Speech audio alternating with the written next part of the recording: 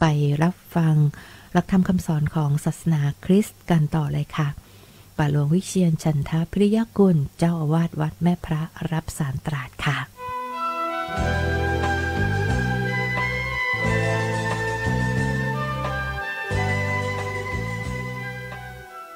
พระเจ้าสถิตกับท่าน สวัสดีครับท่านผู้ฟังที่เคารพรัก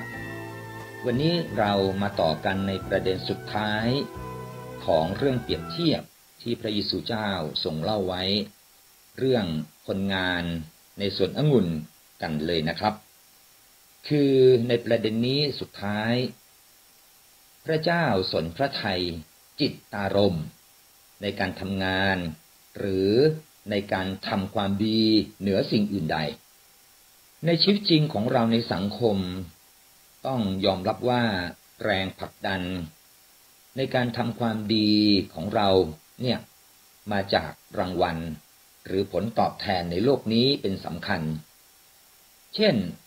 เราทำความดี ก็เพราะหวังคำชมเชย หน้าตา ชื่อเสียง จากคนรอบข้าง ในสังคมในหลาย ๆ รูปแบบ เช่น ออกสื่อ ประกาศหรือจารึกรายชื่อ ของเราไว้เป็นต้นทำให้คิดถึงคำตรัสของพระเยซูเจ้าบางตอนที่กล่าวไว้ว่า ส่วนท่านเมื่อให้ทาน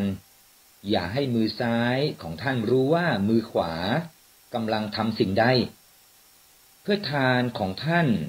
จะได้เป็นทานที่ไม่เปิดเผย แล้วพระบิดาของท่าน ผู้ทรงอย่างรู้ทุกสิ่งจะประทานบำเหน็จให้ท่าน หากเราทำเพื่อหวังคำชมเชยจากมนุษย์ พระเยซูเจ้าตรัสว่าท่านได้รับการตอบแทนนั้นแล้ว ดังนั้นการทำความดีพระเจ้าสนพระทัยจิตอารมณ์ภายในมากกว่า นั่นก็คือหนึ่งเราทำความดี เพราะมันเป็นความดี ซึ่งเป็นสิ่งที่ต้องทำ แม้ไม่มีคนรู้คนเห็น เหมือนกับประโยคที่กล่าวว่าปิดทองหลังพระ นั่นก็คือคนเราส่วนใหญ่แล้ว เมื่อเข้าไปไหว้พระ ก็มัก ที่จะเข้าไปไหว้ที่ข้างหน้า ข้างหน้าจึงเป็นด้านที่คนเห็นมากที่สุด ส่วนข้างหลัง มักไม่มีใครไปไหว้ แต่ที่สำคัญนั้นน่ะ พระรู้ข้อสองหากเราเป็นผู้มีศาสนา เราเชื่อว่ามีโลกหน้าคือมีสวรรค์ มีนรก ขึ้นอยู่กับการดำเนินชีวิตของเราในโลกนี้ ตามคำกล่าวที่ว่าทำดี ต้องได้ดีทำชั่วต้องได้ชั่ว นั่นคือทำชั่ว ก็ต้องรับสิ่งที่ไม่ดีกลับคืนมา นั่นคือตามผลแห่งการกระทำหรือผลแห่งกรรม ไม่ในโลกนี้ก็ในโลกหน้า ซึ่งเราควรหวังผลแห่งโลกหน้าดีกว่า เพราะผลในโลกนี้เดี๋ยวก็หมดไป แต่ผลในโลกหน้านั้นน่ะ เที่ยงแท้และถาวรกว่า แต่ทว่าคนเรามัก จะหวังผลเพียงแต่ในโลกนี้เท่านั้น จึงมีคำกล่าวแบบประชดประชันออกมาว่าทำดีได้ดีมีที่ไหนทำชั่วได้ดีมีถมไป ก็เพราะมองผลที่จะได้รับในโลกนี้เท่านั้น ทีนี้ให้เรามาวิเคราะห์เรื่องเปรียบเทียบของพระเยซูเจ้ากันต่อนะครับ จากเรื่องเปรียบเทียบนี้เราสามารถแยกคนงานออกเป็นสองกลุ่มด้วยกัน กลุ่มแรก มีการทำข้อตกลงกัน จากประโยคที่ว่า ครั้นได้ตกลงค่าจ้างวันละหนึ่งเหรียญกับคนงานแล้ว ก็ส่งไปทำงานในสวนองุ่น และอีกประโยคที่กล่าวว่า จงไปทำงานในสวนองุ่นของฉันเถิด ฉันจะให้ค่าจ้างตามสมควร เป็นคำกล่าวสองประโยคกับคนงานสองกลุ่ม กลุ่มแรกกับกลุ่มสุดท้ายสำหรับคนงานกลุ่มแรก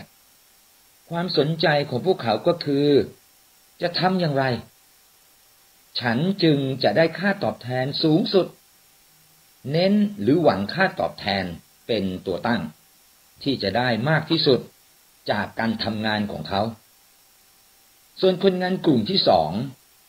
ไม่มีการทำข้อตกลงใด ๆ ทั้งสิ้น นอกจากคำเชื้อเชิญ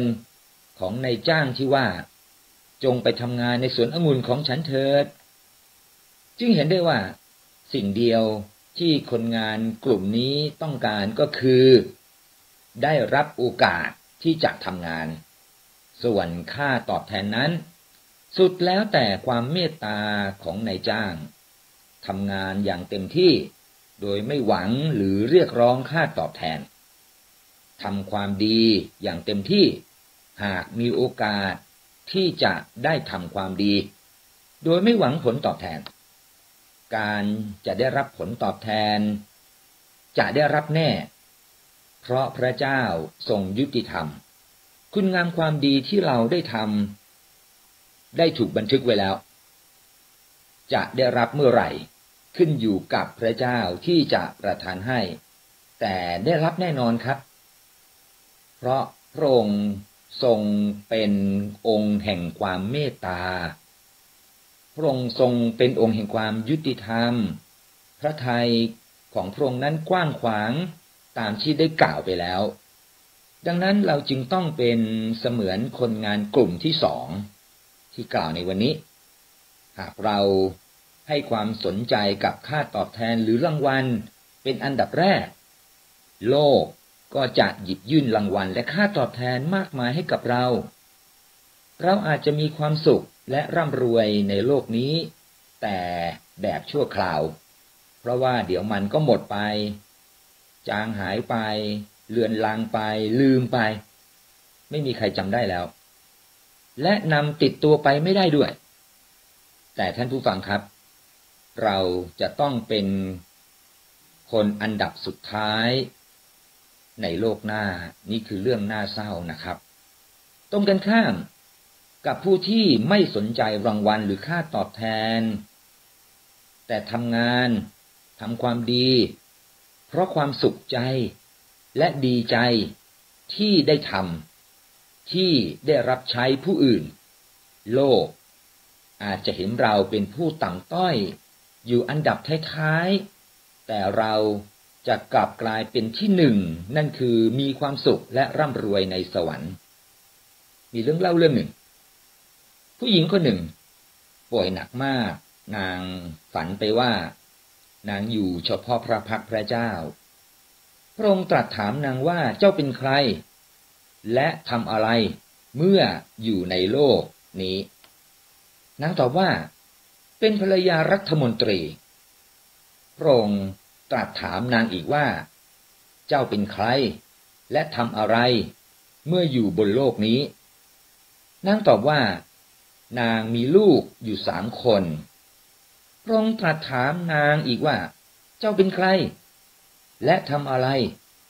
เมื่ออยู่บนโลกนี้ นางตอบว่า ดิฉันมีอาชีพเป็นครู พระองค์ ตรัสถามนางอีกว่า เจ้าเป็นใคร และทำอะไร เมื่ออยู่บนโลกนี้ พระเป็นเจ้าถามประโยคเดียวกันนี้ นางร่ำให้ เพราะไม่มีคำตอบใด ๆ อีกแล้ว พระองค์ตรัสบอกนางว่า ลูกรัก ลูกจงกลับไป และค้นหาคำตอบให้ได้ว่า ลูกเป็นใคร และทำอะไร อยู่ในโลกนี้ มิใช่อยู่ในตำแหน่งอะไร หรือประกอบอาชีพอะไร แต่แกนแท้ ที่เป็นและคนเป็นนั่นคือ ลูกเป็นใคร และทำอะไรอยู่บนโลกนี้ ท่านผู้ฟังครับ ท่านเป็นใคร คุณเป็นใคร Who are you สำคัญมาก ไม่มีคำตอบเฉพาะเจาะจงของทุกคน แต่ต้องเป็นคำตอบเฉพาะตัวของแต่ละคนเท่านั้น ค้นหาแก่นแท้ของตัวตนให้พบว่าฉันเป็นใคร who I am ฉันเป็นใคร และเมื่อรู้แล้วว่าฉันเป็นใคร เราจะพบคำตอบว่า ฉันจะต้องทำอะไรในโลกใบนี้ การทำความดี แม้ไม่มีใครเห็น แต่หัวใจเราย่อมรู้ ย่อมภาคภูมิ อิ่มเอม และเป็นสุข จากดอกผล แห่งความดีงามที่เบ่งบานในหัวใจของเรานั้น การทำความชั่ว ถึงไม่มีใครเห็น แต่ภายในใจของเรานั้น ย่อมรู้ย่อมเห็นว่า เราได้ทำสิ่งเลวร้ายใด ๆ ลงไป ความรู้สึกผิดบาป จะคอยกัดกินเรา แย่งชิงความสุข และความงดงามไปจากชีวิตและหัวใจ เมื่อทำความชั่วไปแล้ว จึงยากที่จะพ้นจากกองทุกข์แห่งความชั่ว สวรรค์อยู่ในอก นรกอยู่ในใจ อยู่ไปจนถึงโลกหน้า เราทำอะไร ก็ย่อมได้สิ่งนั้นกลับคืนมาทำดีได้สุขทำชั่วได้ทุกข์ มันเป็นของมันเช่นนั้นเอง พบกันใหม่สัปดาห์หน้าครับ ในวันนี้ขอพระเจ้าอวยพรทุกท่านเทินอาเมน